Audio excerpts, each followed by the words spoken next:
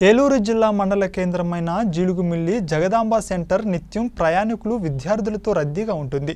నాలుగు రోడ్ల ప్రధాన కూడలి వద్ద బస్ షెల్టర్ లేకపోవడంతో ప్రయాణికులు తీవ్ర ఇబ్బందులను ఎదుర్కొంటున్నారని భారతీయ జనతా పార్టీ మండల అధ్యక్షులు చాట్రాతి ప్రసాద్ ఆవేదన వ్యక్తం చేశారు. మహిళా ప్రయాణికులైతే సెంటర్లో మరుగుదొడ్లు లేకపోవడంతో వారి బాధ వర్ణాతీతమని ఆయన అన్నారు.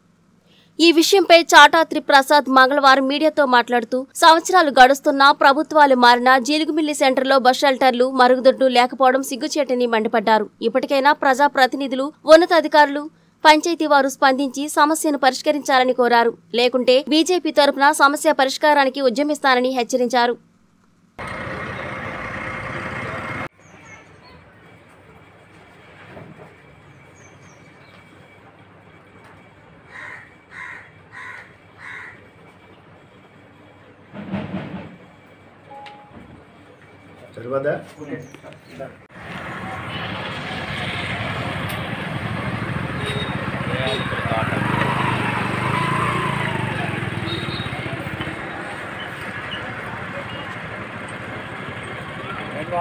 బావా మీరు ప్రయాణికులు నిలబడుతున్నారుగా?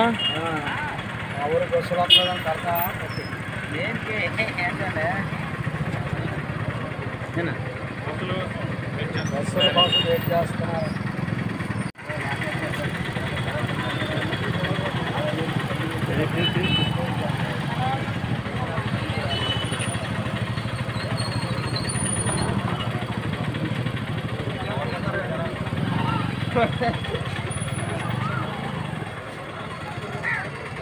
ప్రసాద్ జీలిమిల్లి మండల భారతీయ జనతా పార్టీ అధ్యక్షుడిని జీలిమిల్లి మండలంలో గత ముప్పై సంవత్సరాల నుంచి బస్ షెల్టర్ లేకపోవడం అనేది చాలా దురదృష్టకరమైన సంఘటన ఇది.